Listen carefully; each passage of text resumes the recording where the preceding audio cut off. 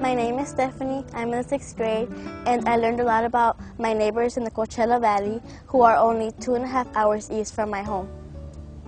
Last summer, I went to Duroville to give school supplies and books to the poor, and where we went, there wasn't really paved, it was just dirt roads.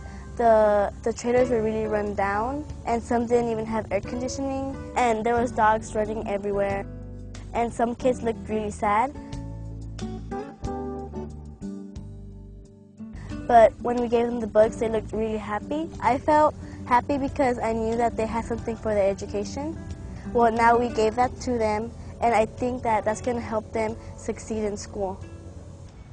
I've met a lot of people who are helping these families, and now let's hear what they have to say. When I was young, every school child in California had to read John Steinbeck, Grapes of Wrath, about the farm worker conditions in the uh, Kern County, lower San Joaquin Valley. In those days, the farm workers were from Oklahoma. They were treated very, very badly, and they had the same issues of substandard housing, um, working conditions that were not good. In the 50s, you had Edward R. Murrow, one of the most famous journalists of all time in television. They are the migrants, workers in the sweatshops of the soil. Who did a whole series uh, called Harvest of Shame. And it was exactly the same issues, now 20 years after Steinbeck. Workers in the fields being taken advantage of. Um, and it goes up through the 60s and the end of the Bracero program and all of the issues, particularly here in California. As a society, we haven't moved along with, uh, with conditions and both labor conditions and housing conditions that, that, that, should be very important for anybody who not just cares about the people, but understands how important uh, these workers are to our farm economy.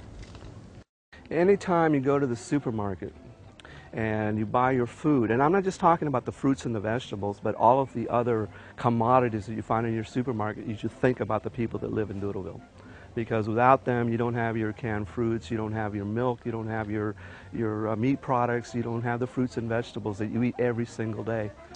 When you consider how important the population of places like Duroville are, uh, they pick our food. And as long as we all insist on eating food, we're going to need farm workers.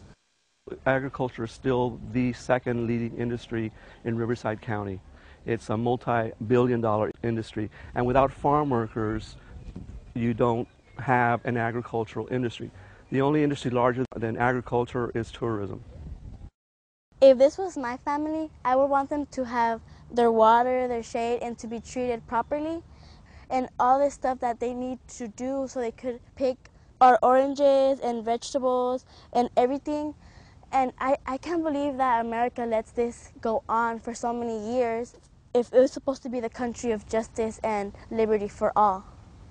You know, we continue the work of Cesar Chavez. His legacy really is in bringing about decent working conditions and living conditions and improving the standard of life of farm workers and their families. And certainly, we're going to work hard to do that.